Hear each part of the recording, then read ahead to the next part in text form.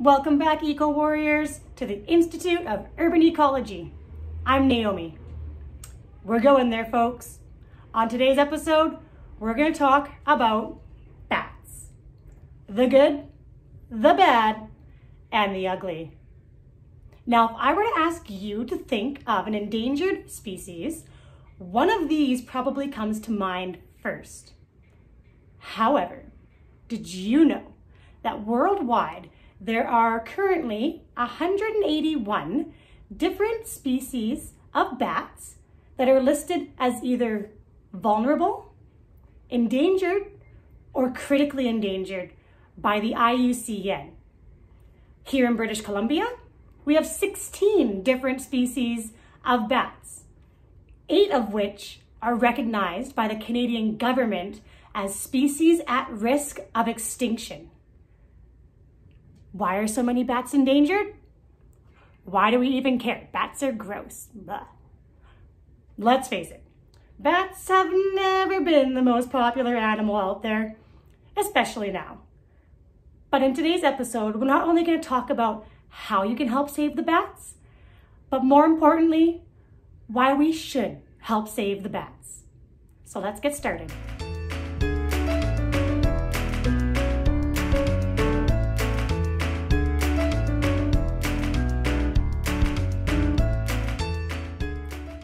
Let's start off by addressing some of those bat rumors that you've probably been hearing about since you were a kid. We'll do this by playing a little game of true or false. Yay! True or false? Bats are just like flying rats or flying rodents. This is false. Although both bats and rodents are mammals, like all of these BC mammals, bats lack those characteristic rodent front teeth. Bats are actually really unique in that they are the world's only flying mammal, which means just like most other mammals on Earth, they are warm blooded, furry, and bat pups need to nurse milk from their mothers. True or false, bats have rabies. This is actually true. However, only a very, very small percent of bats carry the disease. According to the BC Centre for Disease Control, only about 0.5% of all bats carry rabies. You can find out more about rabies on the BC Centre for Disease Control website listed in the video description below. True or false? Bats suck blood. True. Vampire bats are real. They do not turn into Dracula, and they are the only bats that drink blood. But they do not live here in British Columbia. Vampire bats can be found in Central and South America, and they prefer to drink cows' or horses' blood over that of humans. Here's the big one, folks. True or false? Bats spread the coronavirus. Drum roll, please. We don't know for sure yet. According to the World Health Organization, bats from the genus Rhinolophus do carry a closely related version of the virus found in humans. Rhinolophus bats are found across Asia, Africa, the Middle East, and Europe. However, it is still unclear if the virus spread directly from bats to humans or if there was another intermediate host involved. Check out our resource section again to learn more about bats and the COVID 19 virus from the World Health Organization's website. True or false, bats are blind. This is false. Bats can actually see just as well, if not better, than you and I can at night. Look at these little beady bat eyes. Bats also use echolocation to help them hunt at night, especially those bats that hunt insects.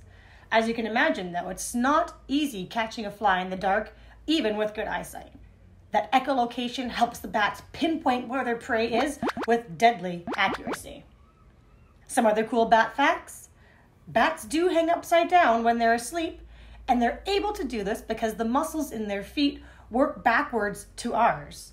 When their muscles are relaxed, their toes and feet curl up like a fist and they actually need to flex their muscles in order to release their grip. Fun fact number two the world's smallest bat is the bumblebee bat, which is, as you guessed it, no bigger than a large bumblebee. The world's largest bat is the flying fox, with a wingspan of up to two meters. Take a look at this bat skeleton. Look familiar?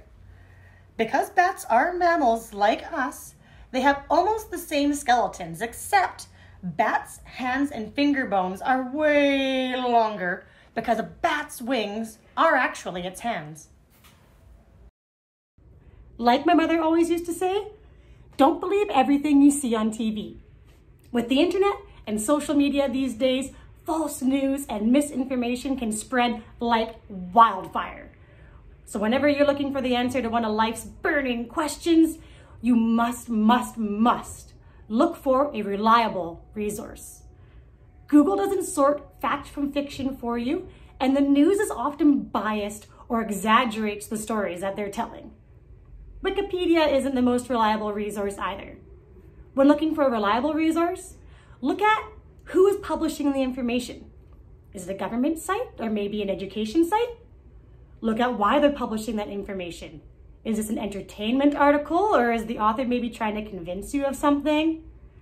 Look at how old the information is and also look to see if the author provides you with other resources and other sources to help back up their claims or the information that they are giving you. You should also look for multiple resources as well and make sure that your own search isn't biased. There's always two sides to every coin. And although I really, really want to believe that bats are good, some of these rumors might actually be true as long as there are resources to back them up. A good place to look for reliable information is Google Scholar, .gov, .ed, or .ac websites. Okay, so now that we understand bats a little bit more, why should we care? Would we really miss them if all the bats were gone? Spoiler alert, yes. There are kind of two main types or different types of bats around the world. There are insectivore bats, which are bats that eat insects, and then there are fruit bats. And both provide the ecosystems with some very important services. We don't have any fruit bats here in British Columbia. However, fruit bats worldwide play two important roles as pollinators and seed dispersers. According to the USDA, over 300 types of plants depend on bats for pollination and seed dispersal, including bananas, mangoes, and agave. Here in BC, all 16 types of our bats only eat insects, and they need to eat a lot. One study in New Hampshire found that one little brown bat weighing 7 to 9 grams could eat up to 3.7 grams of insects in one night. The Canadian Species at Risk Act estimates that one female bat could eat up to her entire body weight in insects per night. That's approximately 1,000 insects per night. And by looking at the bat's guano, they found that mosquitoes made up most of their diet in the summertime. So what's happening to the world's bats? Why are so many in danger of going extinct? There's a lot happening in our urban ecosystems that make this a pretty dangerous place for a bat to live. These are the most common killers of bats. Habitat loss, pesticide use, and misunderstanding are the three most deadly factors in our urban ecosystems. White nose syndrome is a highly contagious fungus that has killed over 6.7 million bats in North America alone.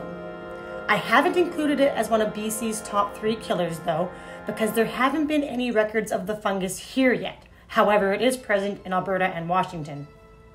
Just like many species, habitat loss is one of the biggest threats, especially in urban areas like here. For those insect eating bats, pesticides are also a big, big problem. Not only are there fewer insects for the bats to eat, but surviving insects could still be contaminated by small or less lethal doses of the toxin. The bats then eat those contaminated insects, and the pesticides can accumulate to serious, even lethal levels for the bats. On top of all these things, bats do not reproduce very quickly. Most female bats can only have one pup per year, which makes it really hard for populations to grow or recover. Now, the good stuff. There are some things that you can do today to help save the bats from extinction. First off, vote. Vote to help protect your local natural resources and participate in forest cleanups or tree plantings.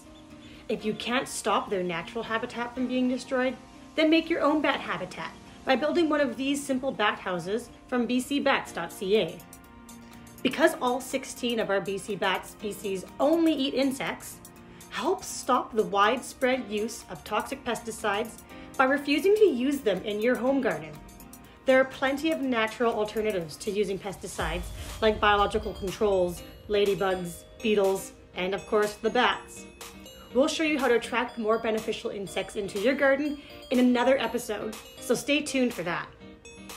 Shopping organic and supporting farms that don't use pesticides will have a larger impact on the bats than you might think. I know organic produce is expensive and I can't always afford to shop organic either, but if you can, try to purchase these 12 products. The USDA regularly tests the amount of pesticide residue left on various fruits and vegetables. Based on this data, the Environmental Working Group has put together their list of which 12 fruits and vegetables had the highest levels of contamination and which 15 had the lowest. If you can't afford to buy all your produce organic, at least try to buy these 12, not just for your own health, but for the bats as well. On top of all those negative rumors, people tend to fear those things that we don't know or don't understand. So what's the coolest thing you learned about bats today? Share that information as well because the more people know or start to understand these animals, the more they'll realize just how important they are to our urban ecosystems and the more likely that they'll want to help as well. For more reliable resources on bat information, check out the resources in our comment section below. Or if you want to ask us a question, you can send us an email or reach us on social media, or again, leave a comment down below and we'll do our very best to help you. Until next time, Eco Warriors, thank you, and we'll see you soon.